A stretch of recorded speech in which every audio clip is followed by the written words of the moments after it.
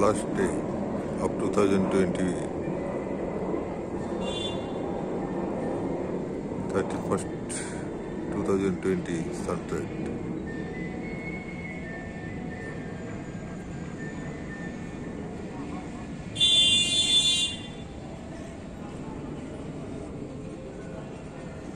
May New Year to bring all of good lives for our all life, for the world, for the humankind.